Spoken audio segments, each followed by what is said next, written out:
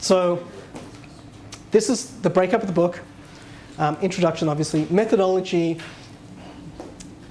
You know, we'll go through this this morning. Uh, this is what I've felt has been lacking in, in systems performance and also performance in general. There's documentation for methodology. When you watch an expert tackle a performance issue, they know where to start, they know what sequence to go through in diagnosing it, and few people have tried to document those. I was inspired by Cary Millsap, created Method R for Oracle Database Analysis, and it's pretty simple. But sitting down and giving you a, an enumerated methodology to step through a problem is a really good idea. And so this is the, the thing that's most new in this book, and I think is going to shock a lot of readers when they get a copy of it, is like, where did all of this come from? It's like I made it all up. Well, in, in a way, it's my experience for a decade doing performance and just writing it down and saying, I, I do need to write down. And this is also what happens when you tutor someone, is you're telling people, this is how you approach a problem. And this is the, this is the sequence that you go through from having no, no idea where to start and then to the root cause. And so those are methodologies. I've given a bunch of them names. I had one published in ACM, which was the use method, but there's a whole bunch more. So I'm really excited about that because it's, uh, it's new and it's useful. I've also created a lot of tools in the past. So I created the dtrace toolkit, and I've, I've created hundreds of dtrace tools and kstat tools and whatnot. And as I've learned, tools don't help people solve, tools don't help beginners solve problems. Tools do help experts solve problems because you see, oh, I, I knew I needed that thing, but for a lot of the, the real big audience is, I don't know where to start. And I, I, I have a tool and a problem, and now I have two problems. I'm trying to understand what the tool does and how to use it, and I still have the problem. Uh, a lot of tools are also created without having a clear idea of, of solving problems, and it makes it more confusing. So methodologies, I think, is great, and I'm really trying to shift the industry because it, it's about solving a problem. And then from the methodology, you, you then go and find the tools to uh, help. Operating systems, I helped with Solaris Internals second edition. I, um, I, apart from read every page, I also did a lot of editing throughout it and wrote a bunch of stuff for it. Um, fantastic. I love operating systems, internals. That book was a, a, over a thousand pages, just hit a thousand pages. My task was to summarize operating system internals in 30 pages and to give you the bare minimum for how kernels work and how schedules work and things like that. Now, there's more of this in later chapters as we, as we dive into other areas, but since this book is intended for everyone, I thought that was a, a, a nice goal to really summarize it, and, uh, and I accomplished that. So I'm, I'm really excited by that little summary. It took a lot of effort to whittle it down to 30 pages. Observability tools just to understand what types exist, uh, and a crash course into dtrace, and I know some of you use dtrace already, that's fine.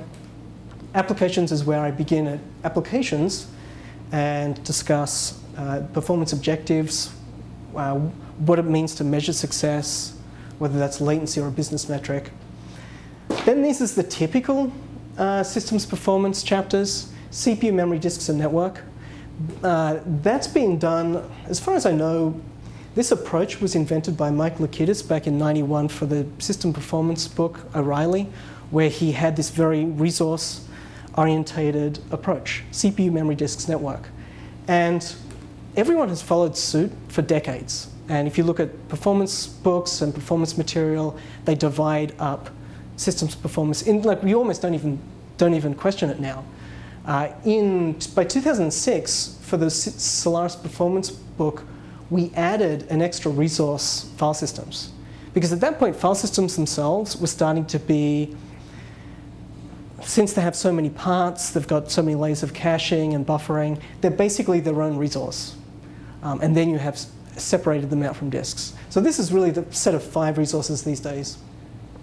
Uh, cloud computing, and I do both OS and hardware virtualization, and that was probably the hardest chapter of all of them to write because it is how Xen works and how all of that stuff works is extremely complicated. Uh, benchmarking, for success. And then there's some extra stuff which I won't go through in the class. any questions about the, oh, I should say the, my focus will be SmartOS, but I'm also going to mention Linux. The book has, does both. In fact, the book leads with Linux. So SmartOS is secondary as it is in the, in the book, which was designed for the audience. That means it will sell more copies, more people, there are more people in the Linux community. Uh, and it'll still give them exposure to SmartOS. So you're reading your Linux thing, and you turn the page, and then there's all this dtrace on SmartOS, and, and that sounds cool. Yes? Is there, um, your methodology section, like, do you have like a very strict mapping of like each thing in the methodology to like a tool? That would actually be awesome. I don't know if that's a question or just like feedback. Yeah, yes. Now, some of them I do mention the tools uh, for the methodology. Uh, one, and we can do that, and I want to do that uh, on the whiteboard, is for this like thread state analysis, which I hope to get to today, mapping that to the tools because it's really, really useful. Ultimately, what many of these methodologies should become is wizards in performance analysis products. So I'm a bit tired about these third-party performance analysis products that put line graphs on SAR and then sell it. Uh, you, now, it looks pretty and people buy it, and you do solve some problems, but you can do so much more. And so what they could do is have wizards for the methodologies. So just click on thread state analysis. And we're doing thread state analysis because it makes sense, because we, just, we, we began with the questions we wanted answered, and then that third-party analysis tool gives us the metrics. So I think that's the goal, is, is we actually want wizards for all of these that do it for us. So I want to use method wizard in cloud analytics. Um, and I still need to add the tickets and bugs so that they have enough metrics to do that. But um, yes, ultimately we want this easier. But for now, I'll do some of it on the whiteboard. Uh, any other questions about content? All right, let's get to it.